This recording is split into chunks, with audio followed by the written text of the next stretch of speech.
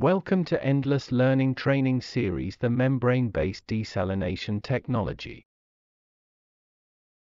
In this presentation we will study about instrument air, why compressed air contains water, dew point, pressure dew point, the importance of the dew point for instrument air quality, what influences the compressed air quality.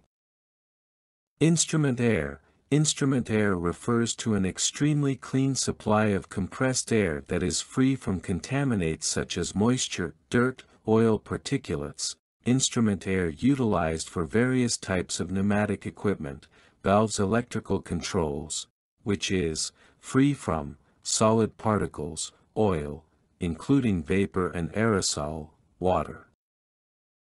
Why compressed air contains water, Water's presence in compressed air is an entirely natural occurrence and is primarily a byproduct of its compression. When the air is sucked into the air compressor and compressed, the volume of the air decreases, but the amount of water vapor remains the same. The compressed air's reduced volume cannot hold the moisture in vapor form, causing it to condense into water droplets, the quantity of water contained in the compressed air depend on inlet conditio.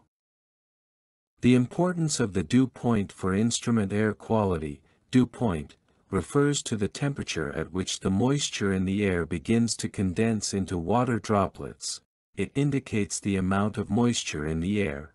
Dew point is typically measured in degrees Celsius, degree C, or Fahrenheit, degree F, dot, it's a measure of absolute humidity, representing the temperature at which air must be cooled to reach 100% relative humidity, RH, that dew point is crucial for instrument air systems for several reasons.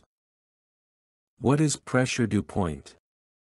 Why is it so important? According to the ISA standard, the pressure dew point, when measured at the dryer outlet, should be at least 18 degrees Fahrenheit below the minimum temperature where any part of the instrument air system is exposed.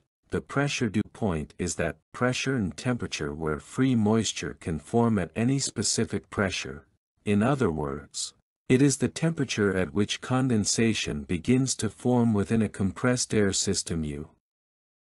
Dew point, temperature at which air becomes saturated with water vapor at atmospheric pressure, leading to condensation, indicates moisture content in ambient air, high dew point can lead to discomfort, dew point changes with atmospheric conditions, pressure dew point, temperature at which water vapor in compressed air condenses at a given pressure, indicates moisture content in compressed air systems. Low PDP is required to prevent condensation and protect equipment.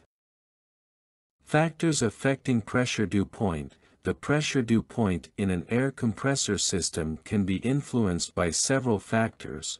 1. Temperature Increase in temperature leads to an increase in the dew point until saturation is reached. 2. Humidity Higher levels of humidity in the air imply a greater amount of moisture, this subsequently translates to a higher dew point.